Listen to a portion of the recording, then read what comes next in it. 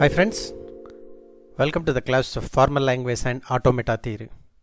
Coming to the question number 22, construct a DFA which accepts set of all strings where it is a power n is given and here there is no input alphabet that is B, only your sigma consisting A. So now how to solve this one? First I'll construct the language that is if I give n as 1 that is A, n as 2 if n has 3 so n should not be equals to now n has 4 you need to consider 5 like this. Now how to construct the DFA for this? For Q naught where if it takes single A it is going to final state. 2A's it is going to final state. Now you can say that why to take two final state like this? Why can't put self loop here.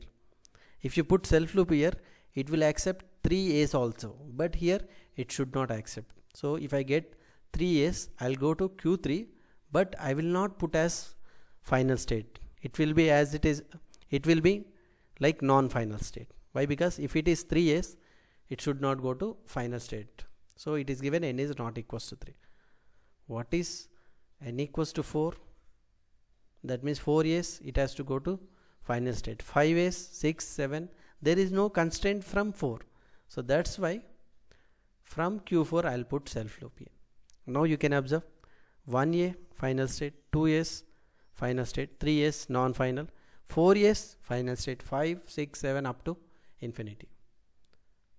So like this you can answer the questions. If the if it is given like n value and it is given constant like not equals to something till that you need to give transitions. Afterwards after this non-final then again give one state which is a final state and give the self loop. And anyway there is no alphabet like b. So you can check for dfa constraint. For every state you have input alphabet. Exactly once. So we'll see some more lessons in the next video lecture. Thank you.